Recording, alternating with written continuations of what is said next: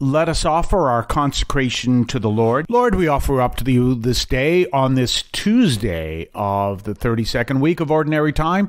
We ask that you touch our hearts in powerful ways, that we may live the faith as you call us to do. And we ask this through Christ our Lord. Well, today, of course, as I said, was Tuesday, and we're continuing in the reading of St. Titus. Uh, this is St. Paul to St. Titus. And he's talking about how to live in the, the Christian way. Now, something I thought I'd, I'd address this. I was talking to a confirmation class and I was teaching the last class of the year. And one of the things I did is I encouraged them to go see the movie uh, Interstellar and my whole class was based on the movie. So we didn't show it, didn't have to get into all licenses and all that stuff.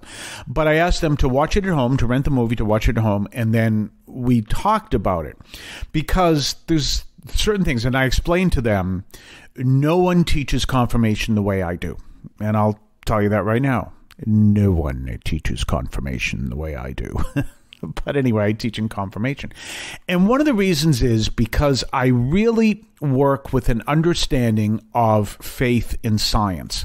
It's something I do, it's something I preach a lot about, and I talk a lot about. Now, in light of that, I also add with this understanding of faith in science, I talk to them about language because I speak three languages. Now, my second language is Spanish, my third language is Portuguese and I don't speak French, even though I took five years of French in school. We won't go there.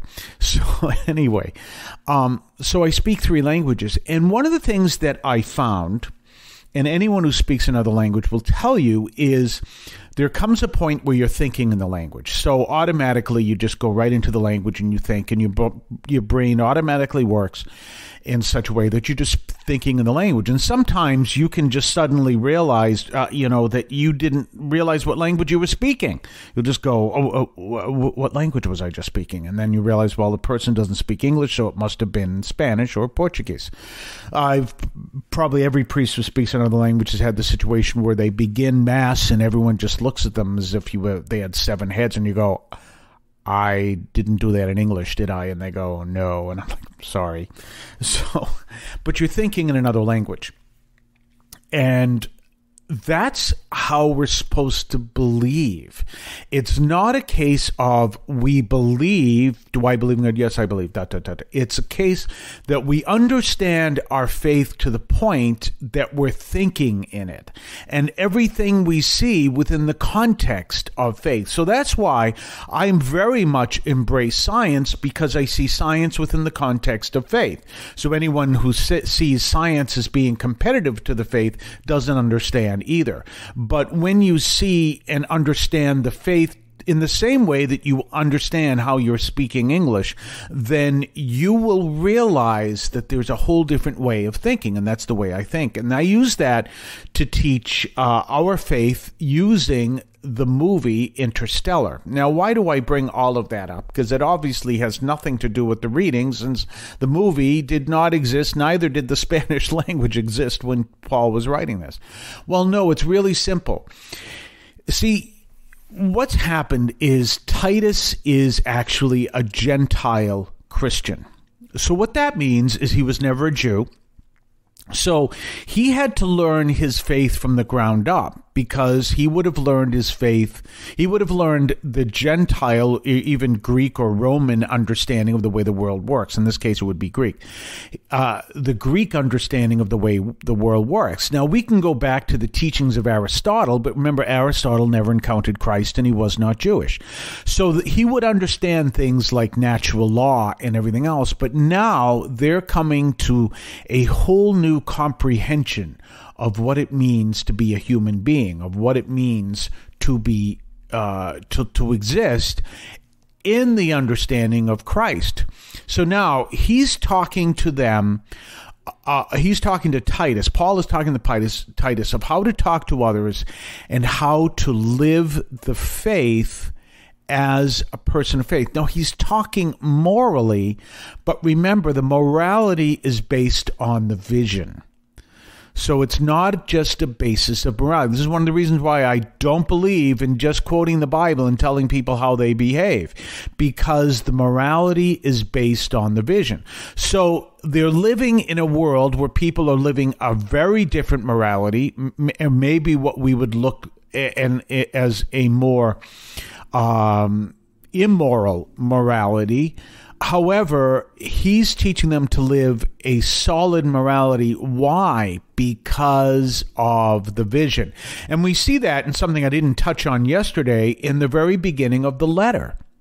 As the letter begins, St. Paul talks about this powerful understanding where he begins with these words of being rooted in the hope of eternal life in that God has given to us.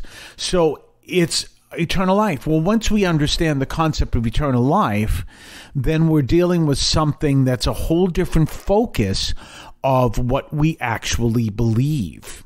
It's a whole different focus. It's not a matter of you know, it's just a whole different of what we believe in who we are. It's not a matter of, well, we should live the good life so we can get to heaven. It's a matter of, oh, everything has changed now. Everything is different now. Now that I understand what this eternal life is all about, which is why, if you ever want me to come to your parish, discuss the faith in terms of interstellar, I will, I will lead people to understand the faith in a very profound way. Let me know. We'll be back on the other side of the break. You're listening to St. Anthony Overnight from St. Anthony Anthony Parish in Allston. You can now leave a message for us, which we can air and discuss on this program. Just call 617 297 7452. That's 617 297 7452. 617 297 7452. Feel free to call, leave a comment, a question, or even feedback, and we may play it on the air. I can discuss your comment or question as well, so give that a try. 617 297 7452. 617 297 7452. I want to call your attention to Catholic TV, which offers great faith filled, family friendly programming 24 hours a day. You can find your cable channel at www.getcatholictv.com, and you can watch online on the free apps or check out the YouTube channel. Daily Mass, Rosaries, the Divine Mercy Chaplet, and the Our Lady of Perpetual Help Novena are all available online and on demand check out CatholicTV.com. And don't forget our own website, CatholicAudiomedia.com. That's CatholicAudiomedia.com. So, Paul continues his theme in chapter 2 as we've been talking about. And of course, if you have your daily missal, whichever one you may have, the Word Among Us, Magnificat, Bible.usccb.org, or actually, uh, you, you know that places sell this missal that is um, the full book, the you know the, the entire year. Uh, whatever missal you're using, of course, you can look through this and it has this reading. And one of the things that you may see there is his instructions that Saint Paul gives to Titus are all based on this different understanding. So he's teaching them about the graces of God, but as he says, training us to reject godless ways and worldly desires. Why? Because we have a different way of understanding. The Lord is essentially, and that word training us is important, essentially leading us to understand how to live our life so that we are ready to enter the kingdom. This is something maybe a lot of people may not understand if they think of the model as you have to live a moral life so you can get into heaven. That is a a merit based model, and this is something that Catholics and evangelicals reject, although many people don't think that Catholics reject this, and some Catholics actually don't because they're it's wrong teaching. It's not a matter of we earn our way into heaven, and I know there are a lot of Catholics that may believe this, and so there may be evangelicals shaking their head, going, "Yes, we know," but anyway, may believe this. It's not a matter of earning your way into heaven. It's a matter of understanding a whole new way of living because you understand the reality of what Christ has done for us. So that's where it comes from. So as as you can see, St. Paul is talking about worldly desires, godless ways. What is he talking about? He's talking about those people that do not have an understanding of who Christ is. Now, obviously, Titus is out to teach that, but until that ways, he's saying, no, you've got to live by this different vision. And if you live by this different vision, people will understand a different way of believing and knowing who Christ is. So that's what you're called to do, to live this different vision. Now, and by doing so that's so that's why we live the moral life that we do. And not only do people not understand this if they don't understand it they don't teach it well and this is why St. Paul is teaching the importance of understanding it so he teaches it well. So, what happens is anytime you feel someone is angry at us because of what we believe, it you can guarantee the reason is because what they understand, what we believe, was not taught well. Period.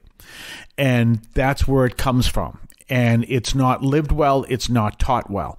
So everything comes from we understand a new way of what it means to be a human being because we've encountered Christ.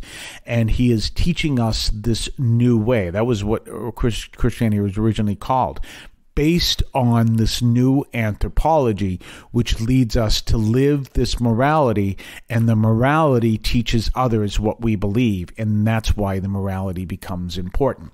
We're going to talk more tomorrow. Have yourself a blessed day. We'll see you then. If you would like to support our program, please consider a donation to St. Anthony Parish in Allston, Massachusetts. There are several ways to consider this. One is to purchase any of our merchandise, which you can find at the shopping tab at CatholicAudiomedia.com. That's CatholicAudiomedia.com. There are coffee mugs there. There's also my latest book, Encounter Christ in Your Humanity, all of which you can find at the shopping tab at CatholicAudiomedia.com. You can also donate to the show directly through either the Donate tab, also at CatholicAudiomedia.com, or by sending a donation through the U.S. Postal Service with your questions and comments at 43 Holton Street, Allston, Massachusetts 02134. That's St. Anthony Parish, 43 Holton Street, Allston, Massachusetts 02134.